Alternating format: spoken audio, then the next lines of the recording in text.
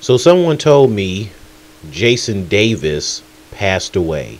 You 90s babies remember Disney's Recess that aired on Disney's One Saturday Morning when Saturday morning cartoons still existed. Jason Davis, who was the voice of Mikey, uh, passed away on February 16th in Los Angeles at the age of 35. You know, I am shocked. I'm shocked. I'm I'm shocked about him passing away at 35. I mean, it's Mikey. Mikey from Recess. Mikey, the lovable, nice, blonde, chubby kid that liked to eat. I'm shocked that Jason Davis is gone. Um, apparently, they say he possibly died from a drug overdose. Oh, no. Not a drug overdose. No, no, no. So that is sad. It truly is sad.